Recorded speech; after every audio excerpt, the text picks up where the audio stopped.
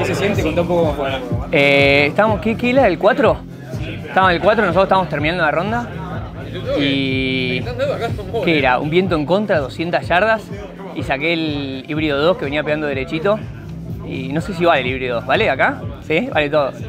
Eh, pegué el híbrido 2 y agarré un fade, pegó en la loma, en el green y la dejé a un metro y medio. Como siempre. Espectacular, como siempre.